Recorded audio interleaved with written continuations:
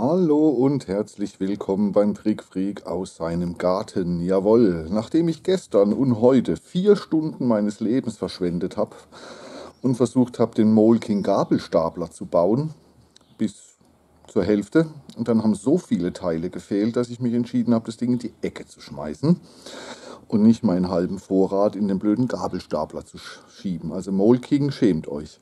Wirklich, so viele Fehlteile, das ist oberkrass. Und das Ding war original verpackt, mit Verpackung, also ist nicht beim Umpacken verloren gegangen. Aber jetzt kommen wir mal zu was Interessanterem, hoffe ich. Hier die Cube Brown Modern Villa von Morg. Jawohl, Modell Nummer 10204. Eine schicke, moderne Villa, die man immer in seiner Stadt gebrauchen kann. Hoffen wir. So, dazu haben wir einen Beutel mit ein paar Blades. Das ist, wenn man so viel Unkraut jätet. Ja, äh, Minifiguren. Und das hier ist der Bauabschnitt 1. Gefühlt 317, 317 Tüten oder sowas. Dazu haben wir noch ein schönes, damit wir sehen, wie die Minifix auszusehen haben. Aha. Ja, ich weiß, hier ist ein bisschen dunkel im Schatten, aber im Haus hält man es echt nicht aus. Hier draußen ist viel angenehmer. Okay, so, dann fange ich mal an und wenn es zwischendrin was Interessantes gibt im Bauabschnitt 1, dann zeige ich euch das selbstverständlich. Ja, nur damit ihr mal einen Überblick bekommt, wenn ihr die ganzen Tüten aufmacht vom Baustep 1, äh, das ist ein bisschen viel, finde ich. Weil wir haben sehr, sehr, sehr viele verschiedene Teile. Ich glaube, das hier sind schon locker an die über 100 verschiedenen Teile. Und äh, ja, also bitte Morg macht es ein bisschen kleiner, weil hier muss man dann doch ordentlich suchen.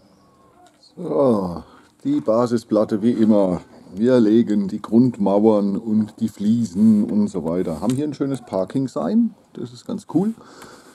Eine Fliese hat bis jetzt irgendwo gefehlt, da hier in der Ecke, aber in diesem ganzen Wulst wird sie vielleicht ja noch drin sein. Schauen wir mal. Der lässt sich ganz gut bauen. Die Fliesen müsst ihr manchmal gucken. Die haben manchmal mehr, manchmal weniger Abstand, so ähnlich wie bei Xingbao.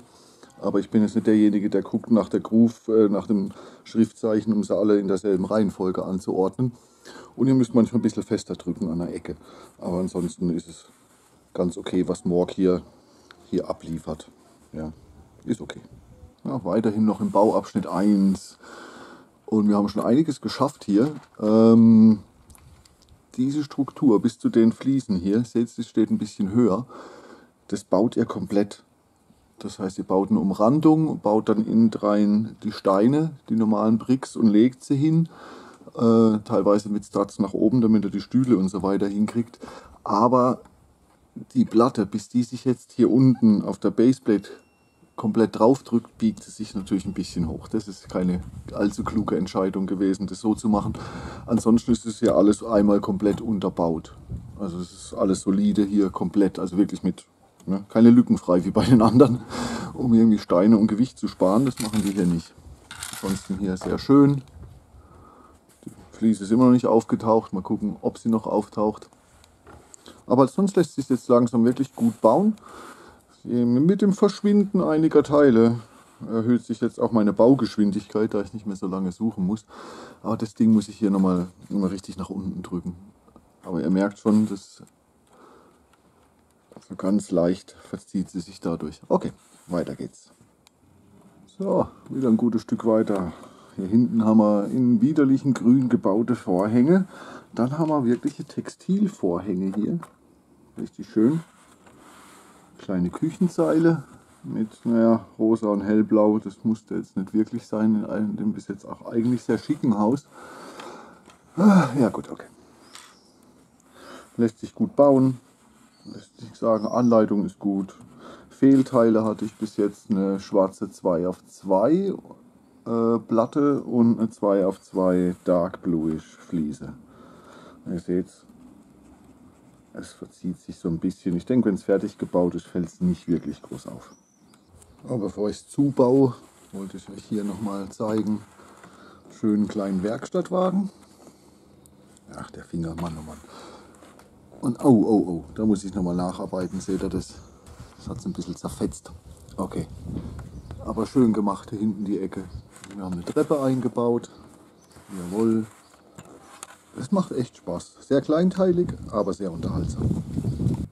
Ah, Heute ist wieder kühler, ich kann wieder im Haus bauen. So, hier haben wir den stolzen Besitzer der Villa. Ja, nur als Millionär kann man sich so ein schickes Ding hier leisten.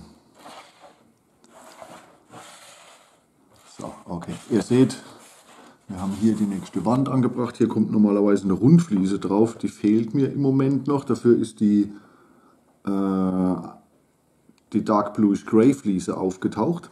Also dafür fehlt eine 1 auf 3 in hellgrau. Naja, egal. Okay. Aber ich finde, das Häuschen ist doch innen drin hier ganz nett gemacht. Auch wenn ich grün und rosa nicht gebraucht hätte. Was allerdings nett ist, äh, das sind alles Drucke da hinten. Steht Love You drauf und noch irgendwas. Auch finde ich die Lampe nett gemacht. Okay, nehmen wir viel. Dann haben wir den ersten doch recht großen Bauabschnitt hinter uns. Und hier haben wir den ganzen Bauabschnitt 1. Hier haben wir die Zweierbricks mit den vier Studs auf der Seite, also die 2 auf 2. Und dann gefliest, das ist auch schön gemacht.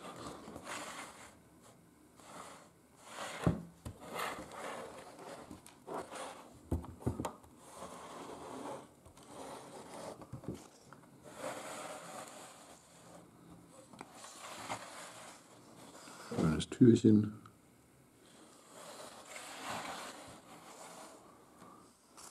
Also wirklich spitze bis jetzt. Fehlteile, äh, auch die, die ist auch aufgetaucht. Das Runde, wenn ihr in der Anleitung hier seid, das ist nicht eine Zweier Roundblade, sondern eine Dreier.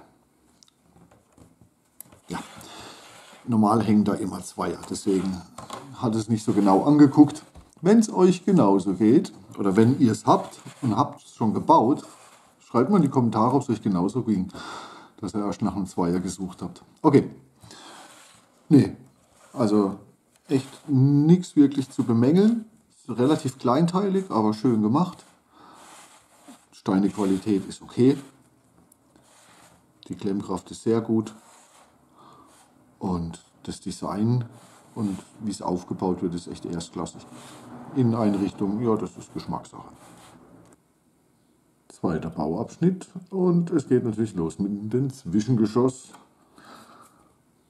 Ihr seht, wir sind hier bei drei Lagen zum Teil und da bei zwei und dann gleich Bricks. Alles schön einmal durchgefließt. Ich glaube, hier kommt eine Couch jetzt dann gleich hin. Ja, Blau ist komischerweise da ja auch ziemlich viel drin. Man sieht Gott sei Dank hinterher nur noch relativ wenig, wenn man genau guckt. Hier bleibt ein bisschen. Mal gucken. Und so sieht es von unten aus. So. Was unglücklich ist, dass wir hier, hier und da vorne hochstehen. Das heißt, wenn ich jetzt hier irgendwas drauf baue und drücke, drückt es natürlich durch. Das ist natürlich äh, ein bisschen blöd. Ein gutes Stück weiter eine nett gebaute Couch. Oh, da fehlt noch eine Fliese. Auch schöne Lampen, nettes Tischchen, da fehlt auch noch eine Fliese. Also bei der wusste ich es. Pflänzchen und schön hell mit vielen Fenstern. Wunderbar. Das Fenster ist offen, am Fenster hängt in so ein äh, ja. Und da ist der Bauabschnitt 2 auch fertig und sogar schon aufgebracht. Und ich muss sagen, was ich hier gern schließen gehabt hätte. Aber, mal gucken, ob ich die vergessen habe.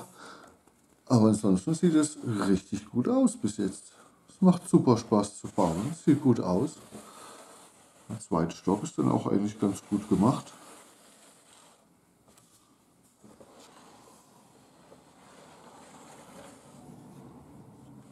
Kann man echt nichts sagen. Feines Häuschen.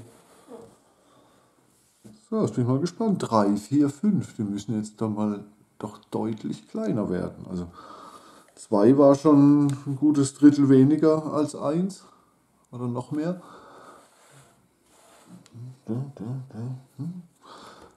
Mal gucken. Mal gucken. Aber bis jetzt finde ich es echt stark. Anfang vom Bauabschnitt 3, recht unspektakulär von unten. Kleines Bettchen, cool gemacht. Da fehlt so eine braune Stange. Normal sollte da fünf, sollten es fünf sein. Ich hatte nur vier. Äh, die graue Fliese da vom Tisch da drüben ist dann doch noch aufgetaucht. Naja, ach so, und was ich dann auch vergessen hatte, wo ich mich gewundert habe, ja, natürlich hat da noch ein paar Bricks gefehlt. Ja, Volldepp. Noch gewundert, oh, da sind Bricks über. Ähm, ja. Seht ihr was?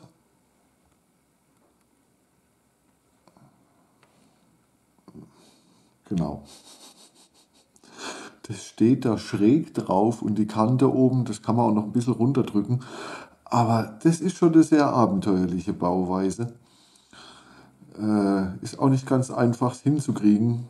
Das, äh, drei Hände wären hier besser. Zwei, die die Fenster heben und die dritte, die dann die Platte oben drauf setzt und hofft, dass unten alles richtig passt. Okay. Ich habe es jetzt durchgebaut. Den Bauabschnitt 3. Ihr seht es, man kann es öffnen, ich zeige es euch gleich. Das ist natürlich super clever, wenn man das Surfbrett vor die Tür stellt, die nach außen aufgeht. Spitze. Gut. Zugekiffte kalifornische Surferboys. Da merkt man erst hinterher. Was ich richtig spitze finde, ist, wie die Railing hier oben gebaut ist. Es ist ein bisschen Druck drauf, aber im Großen und Ganzen echt spitze gemacht. Seht, sie hat gar keinen Kontakt, erst wieder da hinten. Auch die Schräge ist geblieben vom Fenster und so. Kunst, andere nennen es einfach nur Farbauswahl vom Bauhaus an die Wand gehängt. Die Farbkärtchen, ja, kleines Schlafzimmerchen. Aber schön gemacht, nettes Bett. Lampe hängt da oben drüber an der Decke. Jo. Im Bauabschnitt 3 waren dann jetzt zwei von diesen ähm, transparenten Roundbricks. Und Bauabschnitt 1 hat einer gefehlt. Also geht alles auf. Wunderbar. Und so sieht es dann aus, wenn es eingeschoben wird. Hier waren links und rechts die Steine mit der Nut. Und hier haben wir unten drunter die Modified Bricks gehabt, mit dem, ne, dass man es da reinschieben kann. Und so tut man den Container hier reinschieben, fügt sich perfekt ins Haus ein. Wunderbar, richtig cool gemacht, tolle Bauart. Absolut genial.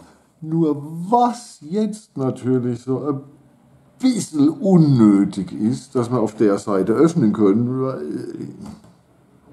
Weil zum Bespielen, wenn man es dann rausnimmt, ja, zum Bespielen ist das Zimmer zu langweilig und zu klein. Da hätte man sich das eigentlich auch sparen können oder halt hier anbringen, aber dann wäre das mit den Fenstern wahrscheinlich nicht ganz so cool gegangen. Naja, Kompromisse. Aber da ich die Häuser ja im Normalfall nur hinstelle und, äh, ja gut, mittlerweile verkaufe meistens, aber im Normalfall nur hinstelle oder man stellt sie in die Stadt, ist das jetzt vollkommen zweitrangig. Und es sieht natürlich noch ein bisschen komischer aus, weil das Surfbrett jetzt wirklich alles blockiert. Nicht nur die Tür, sondern auch die von der Treppe hochkommen. Super clever Decision. Spitze. Okay. Ach, nächstes Stockwerk, nächste Grundplatte. Und die ist mal richtig interessant, weil ihr seht hier mit den Gelenken angebracht. In dem Winkel reingeschoben. Klasse. Also das Haus überrascht. Echt. Wow. Und äh, bis ich dann auch gleich fertig bin, sage ich euch dann auch, von wem sie es geklaut haben. Da bin ich mir nicht auch ziemlich sicher. Okay, wirklich interessant, auch die Farbauswahl bis jetzt, aber super Bautechnik. Gut, die Hälfte würde ich sagen vom Bauabschnitt 4 und der ist echt geil. Also allein schon mal das hier mit, mit der Schräge, wie sie es eingebaut haben, ist super. Hier auch wieder kleine Kunstwerke in der Wand. Also es zieht sich nicht. Im unteren Stockwerk ist da hinten der Helm Genau, hier oben drüber ist wieder Kunst, also es zieht sich schön durch. Der Badezimmerschrank hier hinten ist, der macht echt Spaß von den Bautechniken her. Auch eine koldemachte Badewanne. Ja, hier kommt auch, hier sollte eigentlich eine Tür rein, nur ich habe keine mehr, ich habe nur noch Fenster. Hm. ich muss ja dort nicht wohnen. Und der wahnsinnig, äh, der hier gehört noch zu Bauabschnitt 3. Äh, Und der wahnsinnig aufregende, super unterhaltsame, absolut genial gemachte Bauabschnitt 4 ist fertig. Der ist echt von den Bautechniken, wie dann alles zusammengefindet, die Möbel, ah, die Details. Es macht so Spaß, also das ist hier hinten wirklich ein absolutes Highlight. Auch das hier, das, ja, können wir es aufmachen. Super gemacht, Winkel passt auch. Zack. Ja, da unten ein kleines bisschen, ne? aber ansonsten super gut. Ja, ja Mal gucken. Ich muss mir wieder angewöhnen, dass ihr merkt, es ist wieder ungewohnt für mich, diese Aufbauvideos. So, Computerchen, bedruckte Tastatur, schön gemachte Vorhänge. Die Farben kann man sich streiten. Echt absolut super. Ja, dann haben wir hier nur noch Bauabschnitt 5 vor uns. Überschaubar. So, ich zeige euch dann gleich noch, wie es eingesetzt, also nicht wie es eingesetzt wird, sondern wie es eingesetzt aussieht. Und so sieht das Ganze fertig aus. Auch das Ding passt, das war ja vorher schon da, passt dann genau rein. Das ist wirklich der Hammer. Nichts, das. Man hat normal ja immer so ein bisschen zu kämpfen, manchmal bei den Modulars, dass sie richtig reinflutschen und halten, weil sie sich ein bisschen biegen und so weiter. Gar nichts. Der Hammer, ehrlich. Super cool. Wenn man es hier dann öffnet, zack, direkt zur Terrasse, spitze. Ich lehne mich jetzt mal aus dem Fenster, also ja, das heißt rauslehnen. Aber für mich ist es bis jetzt vom Unterhaltungsfaktor beim Bauen und allem das Set des Jahres bis jetzt. Wirklich. So viel Spaß hatte ich dieses Jahr beim Bauen noch nicht. Das Ding ist echt genial. Gut, hör auf, Frank. Weiter geht's. Letzter Bauabschnitt. Da sind wir fertig. Bauzeit war relativ lang, muss ich zugeben. Okay, es sind 3623 Teile oder sowas. Aber ich glaube, es waren 15 Stunden. 15 oder 16 Stunden, weil halt auch viel kleinteilig ist innen drin. Aber ein befriedigendes Endergebnis. Die letzten zwei Bauschnitte, die ihr separat nicht gesehen habt, war es wirklich nur das Dach. Das nehme ich gleich nochmal an. So, gehen wir das ganze Ding mal durch. Aha, Minifigur. Das Mädchen, nichts Besonderes. Schöne Drucke, alles sauber. Bub. Grandma. Grandpa. Obwohl vielleicht auch Grandpa die Latzhose hier anhat, aber ich habe mal in die Minuten gegeben. Da war zwar das Bild, aber ich habe es nicht mehr gefunden. Dann habe ich es einfach so zusammengebaut, wie ich gedacht habe. Aber ich habe eh gar nicht mit Minifiguren gerechnet, insofern. Und je nachdem, wo ihr es kauft, werden auch sicherlich keine dabei sein. Wenn ihr es beim Link kauft, unten in der Beschreibung, beim Loi aus China direkt, dann sind die Minifiguren eventuell dabei. Ich weiß es nicht. Wenn er es irgendwie bei Bluebricks kauft oder in vielen, vielen, mittlerweile vielen, vielen anderen Geschäften, dann bezweifle ich, dass dabei sind. Aber das schicke Gebäude kauft sich ja auch keiner wegen der Minifiguren. So, ich habe auch recherchiert und ich hätte es mir denken können. Ich hatte es mir zwischendrin einmal, also zwischendrin hatte ich mal kurz den Anflug und habe dann auch vergessen, gleich nachzugucken. Dann hatte ich es wieder vergessen und jetzt gelesen, Oh so Yang. Hm. Vielleicht machen eine einige von euch, ey, klar, super, kann ich gleich kaufen. Und andere denken, von was redet der? Von Oso Young. Also ich habe schon mindestens zwei Sets hier auf dem Kanal getestet. So ein kleines Starbucks-ähnliches Café von Kada, beleuchtet in der Endcard. Und diese moderne Villa von Villa Bar, ne, es ist eine Bar von Molking mit dem ausziehbaren Dach und lauter coolen Bautechniken und sieht super aus, so ganz kleinteilig gebaut mit, äh, mit Blades, nicht mit Bricks. Das hat mich damals schon total verzückt und war so cool und so modern. Und von ihm ist auch das. Ich hätte es mir eigentlich, ja, wie gesagt, gleich am Anfang schon vermuten können, in die Kamera rein. Die Anleitung unserer Cube Brown Modern Villa. Kein Problem. Das alte ist zwar komplett ausgegraut, aber ansonsten lässt sich gut nachbauen. Ich glaube, ich habe irgendwo habe ich mich einmal verbaut, aber statt das, wenn man nicht genau guckt oder wenn man sich die Teile nicht vorher raussucht, sondern guckt, wo ist was verbaut und dann ja, vergisst man mal eine 1 auf 1. Passiert. Okay. So, also Anleitung vollkommen okay, nichts Besonderes, macht keine Probleme, nicht zu klein, absolut. Die Steinequalität ist gut. Da gibt es auch absolut nichts zu sagen. Ich hatte keine Fehlteile, alles ist hinterher irgendwo wieder aufgetaucht. Also es ist vollständig, das Set. Ähm, Klemmkraft, keine Probleme. Farbabweichung ist mir ein ganz klein bisschen in Weiß aufgefallen, aber nicht wirklich jetzt groß, dass man es. Ja, es geht alles noch ein bisschen weiter runter. Äh, in Beige oder in Braun fällt mir jetzt so. Nö, auch im Dunkelgrau. Also nichts, was, was eklatant hervorsticht. Wenn, dann muss man schon danach suchen, aber ich habe jetzt nichts gesehen. Ich weiß nicht, ob es Gobrix-Steine sind oder irgendwas. Die Tüten sahen so ein bisschen aus, aber ich glaube nicht. Ich glaube, das ist ein anderer Hersteller. Aber es ist okay. Nichts zu sagen. Die Glaselemente waren extern verpackt im Großen und Ganzen, bis auf die kleineren Scheiben, die 2 auf 2 und die 2 auf 3 und halt auch die Paneele oder so, aber die, die großen Scheiben und die Türen. Die Tür hat übrigens auch nicht gefehlt, die sollte weiß sein. Weiß und transparent ist manchmal ein bisschen. Also die Farbdarstellung, da habe ich eine Kleinigkeit zu bemängeln, aber wie fast bei jedem, die Farbdarstellung ist nicht die allerbeste. Ansonsten transparenten Teile wirklich gut. Auch die hier sind nicht milchig und haben sehr wenig Kratzer und die, wo separat eingepackt waren, haben eigentlich gar keine. Also von daher. Die Türen flattern nicht. Es ist ein sehr, sehr aufwendiges und wirklich auf Maß geprügeltes Set-Design hier, der Mock. Übrigens lizenziert.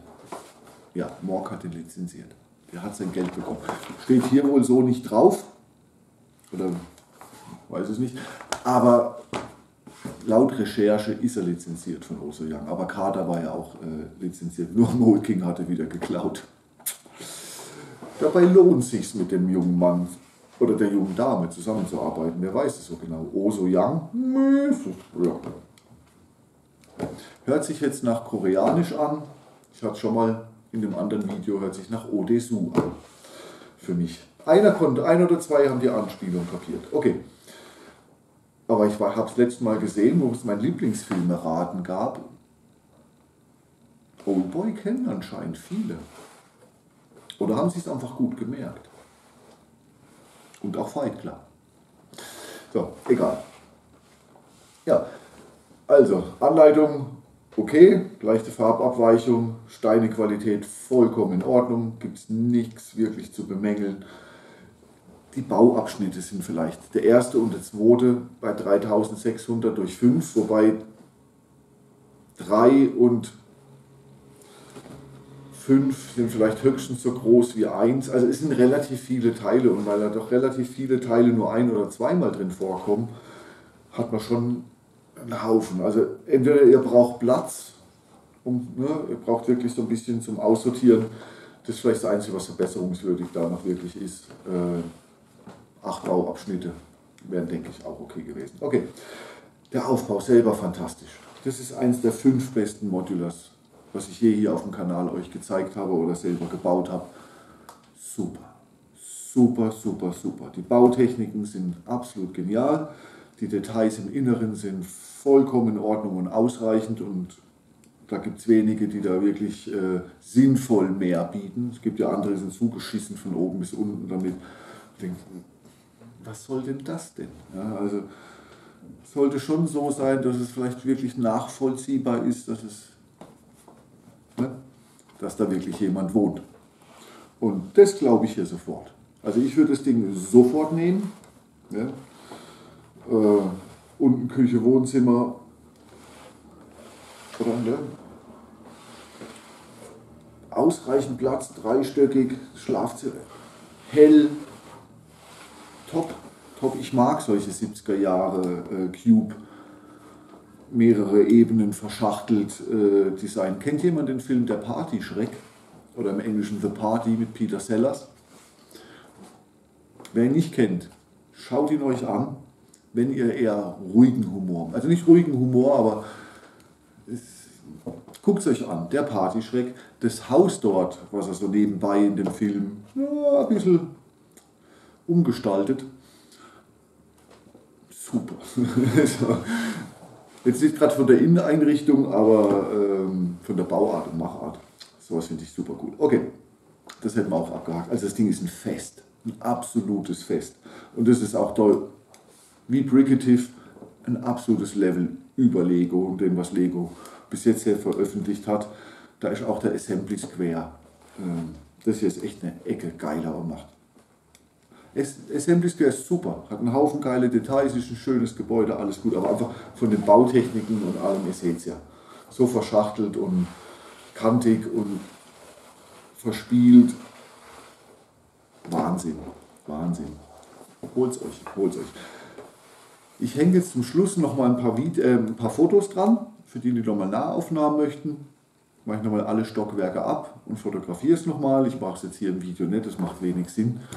Ich fotografiere es euch einfach nochmal, dann seht ihr das nochmal, ansonsten habt ihr es beim Aufbau gesehen. Das Einzige, was wirklich ein bisschen, jetzt nicht sinnlos ist, aber das hier. Ne?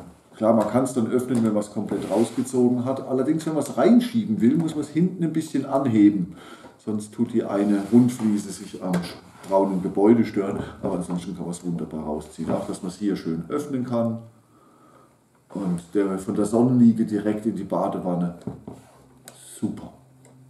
Also, und ich muss sagen, das Ding kann man sich auch einfach vorstellen, dass es irgendwo oben auf dem Hollywood Hills steht oder irgendwie sowas. Ne? Wo so, so Art kubistische 70er, End 60er, 70er Jahre, äh, ja, nicht unbedingt Bauhausstil, aber ihr wisst, was ich meine. So, hm. Runter reduziertes, äh, eckige Architektur mit schrägen Winkeln und vielen Ebenen. Das Ding ist wirklich glaubhaft und nachvollziehbar und absolut genial. Schreibt mal in die Kommentare, was haltet ihr davon? Ich weiß, es ist ein bisschen jetzt nicht einfach äh, in eine bestehende äh, City zu integrieren, gerade wenn man eher viel von den Lego-Sets hat da passt jetzt keins wirklich dazu. Aber wenn man sich zum Beispiel die Bar holt von ihm noch und äh, von Molking und mal guckt, was er noch hat und was eventuell noch lizenziert rausgekommen ist, das sind noch ein, zwei schöne moderne Gebäude. Das andere war auch, glaube ich, von Morg. So ein großer Starbucks, der auch braun-schwarz gehalten ist und vorne so, so schräg nach oben geht. Kaffeehaus oder irgendwie so, das sieht halt aus wie futuristischer, äh, moderner Starbucks, wenn man die drei nebeneinander stellt, dann kann man da das Neubauviertel äh, draus machen oder da es eine Bar ist und ein, ein Café, äh, ne? auch in der Stadt der neuere Teil. Also von daher, von dem Mann gibt es mindestens drei Sets zu kaufen, ne sogar vier. Der hat auch diesen McLaren, dieses futuristische ähm, Autohaus auf drei Ebenen. Das ist ziemlich schrecklich bunt, aber sogar vier. Also es gibt mindestens vier käuflich zu erwerbende Sets von ihm. Und mit dem Kader-Ding sogar fünf. Okay. Was sonst noch zu erwähnen ist, sind alles Drucke. Es sind keine Aufkleber dabei. Äh, bei den Minifiguren war jetzt hier noch eine bedruckte Fliese.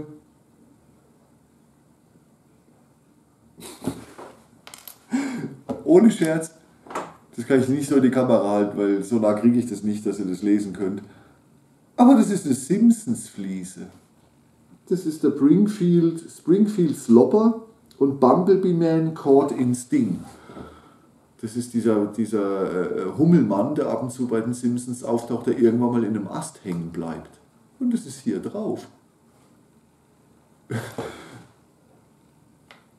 Der Hammer, oder? Das macht mich jetzt echt gerade fertig. Wollt ihr vielleicht noch wissen, wie groß es ist? Ha? Ja, das viele Gejammer hat genutzt. Jawohl, danke lieber Andreas. Das viele Gejammer hat genutzt. Ja, wir sind bei 31,7 cm in der Höhe und die 25,5, die verändern sich wohl. Es ist sogar 26 cm. 25,5 auf 26, weil die Kunst steht ja mal mindestens hier einen guten Zentimeter, fast einen Zentimeter raus. Das ist vielleicht auch noch. Hier wäre am besten dann an der Kreuzung. Also das hier würde ich als Eckhaus stellen. Ja, Frank, das geht doch nicht, wenn hier eine Kreuzung ist. Ja doch. Beschließt den Rand. Ist dann halt ein schmaler Weg. Okay. Habt ihr Fragen, schreibt sie in die Kommentare. Ich möchte wissen, was haltet ihr von dem Ding? Wer es haben möchte, ne, halt, ist vergeben. Und, aber die Pirateninsel ist immer noch zu haben. Will die keiner haben? Ich gebe es euch echt für einen guten Preis. Ich muss das Ding loswerden. Das ist so groß, es nimmt so viel Platz weg. Die kriegt ihr echt zum guten Preis. Kaffee drüben stehen lassen. bin echt verliebt. Ich bin echt verliebt. Absolut. Und dass alles noch bedruckt ist, ist nochmal umso schöner. Und daran kann es garantiert kein GoPrick sein, wenn alles bedruckt ist. Und die Springfield-Fliese. Weiß jemand die Steinequelle von Morg? Weil die sind gut von der Haltekraft, aber sie haben ganz leicht größeres Spaltmaß. Ganz, ganz leicht. Sieht man hier auch ganz gut. Sind es vielleicht Shinbao-Steine? Und das hier ist aus der alten Leppin-Produktion. Wer weiß. Wer weiß. Schreibt mir mal eure Vermutung. Wie kommt diese Springfield-Set-Fliese? Das ist eindeutig Simpsons. Wie kommt die hier rein? Schreibt mir mal eure Vermutung. Sherlock Holmes, Hercule Perot, Miss Marple. Ich bitte um Aufklärung. Habt einen schönen Tag, alles Gute und wie gesagt, schreibt mal Kommentare, wenn ihr wollt. Ich freue mich. Habt eine gute Zeit. Euer Frank. Bye bye.